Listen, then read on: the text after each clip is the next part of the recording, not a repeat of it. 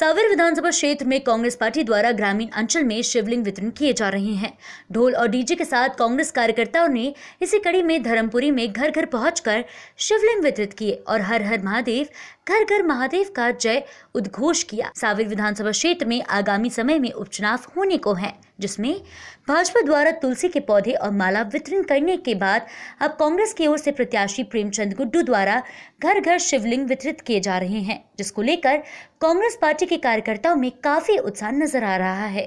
धर्मपुरी गाँव के गली मोहल्लों में उस वक्त भक्ति में हल्ला मच गया, जब डीजे और ढोल के साथ कांग्रेस कार्यकर्ता घर घर पहुँचे और सम्मान शिवलिंग, पूजा की थाली, पूजन सामग्री और पूजा विधि पत्र वितरित किए। आपको बताना चाहेंगे कि श्रावण के पवित्र माह में वितरित किए शिवलिंग का उद्देश्य घर में रहकर रुद्राभिषेक करवाना है। इंदौर से सतीश शर्मा की रिपोर्ट। आज का कार्यक्रम जो है वो प्रेमचंद गुड्डू के जो इच्छा का अनुरूप हर हर महादेव घर घर महादेव।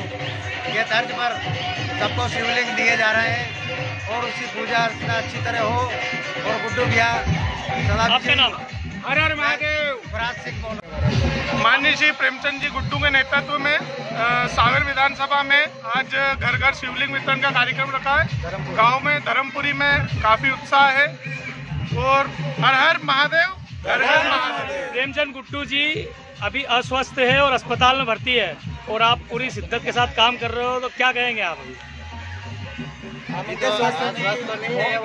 भगवान महाकाल से हम उनके स्वस्थ होने की कामना करते हैं वो शीघ्र ही जल्दी ठीक हो गए और हमारे बीच उपस्थित हो गए लोकेश धूलिए प्रभारी